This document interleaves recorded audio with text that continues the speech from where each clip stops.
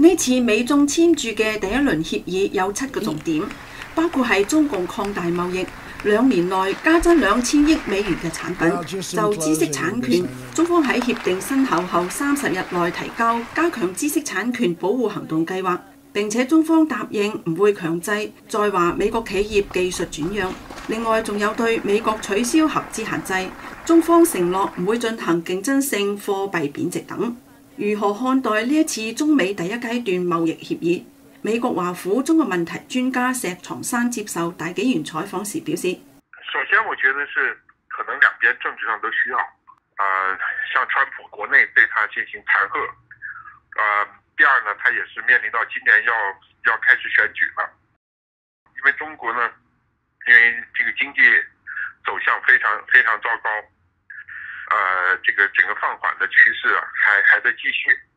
原来的传统搞经济的官员和习那边原来那一批党务的官员，看来是矛盾比较大。要通过某一某一些成绩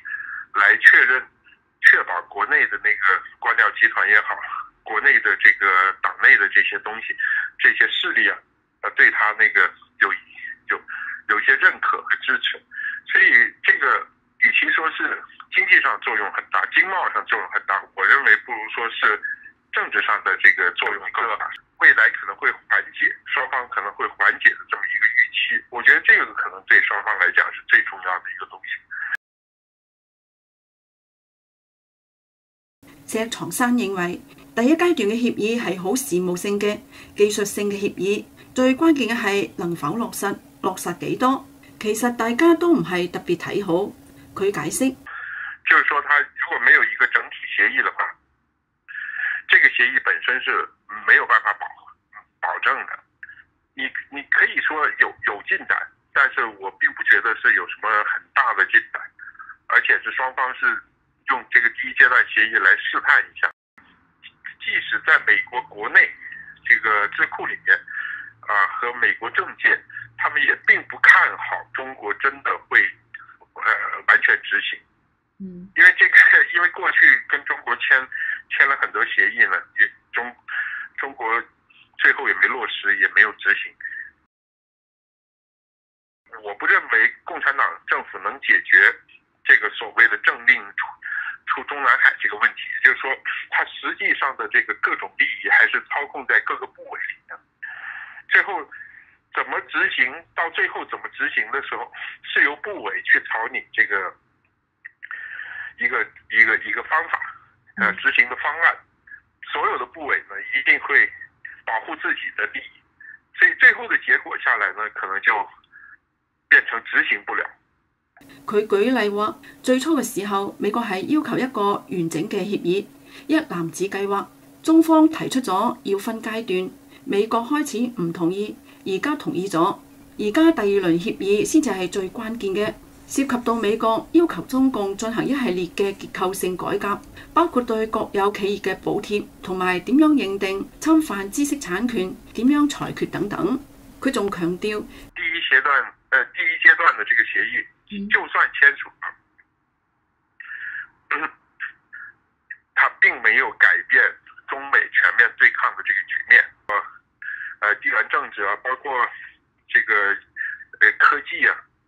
包括科技，包括这个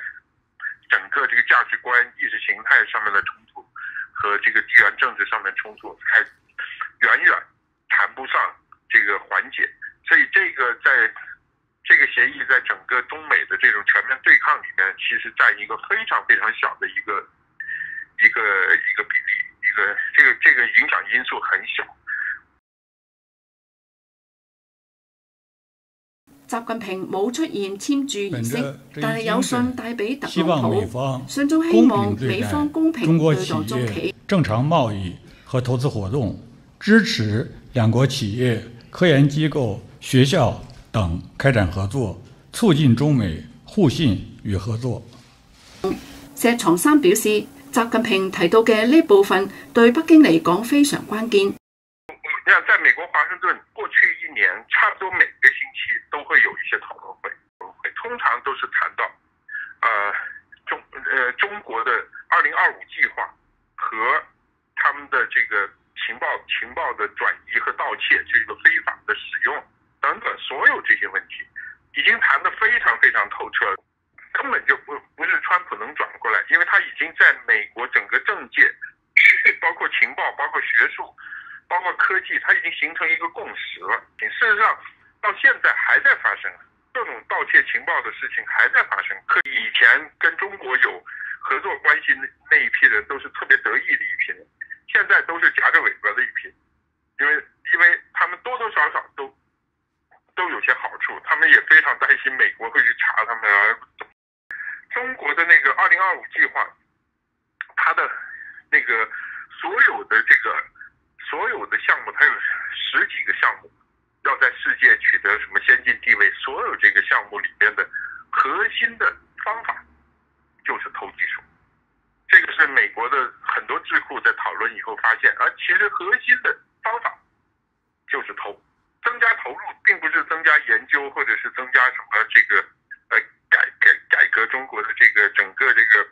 产业的结构和这个科技和产业的相结合的这个结构，而是花这笔钱要偷。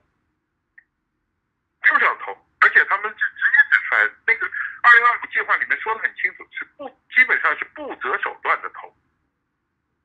为什么美国对二零二五计划中中国制造二零二五最不满、最担忧的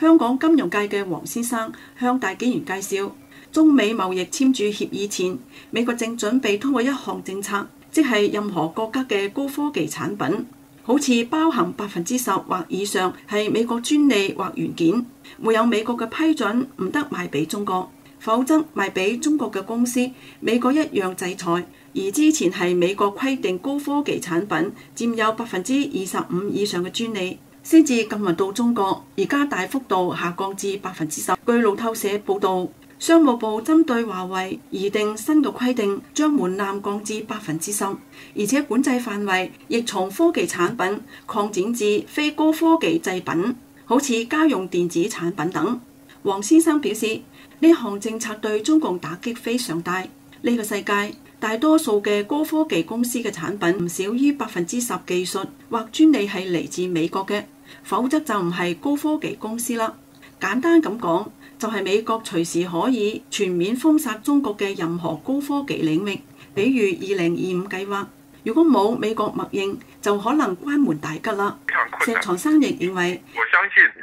呃，中美之間這種科技上的交流基本上限制在一个很低的层面去做，比较高科技的这个交流会会很快全部都。都中断掉。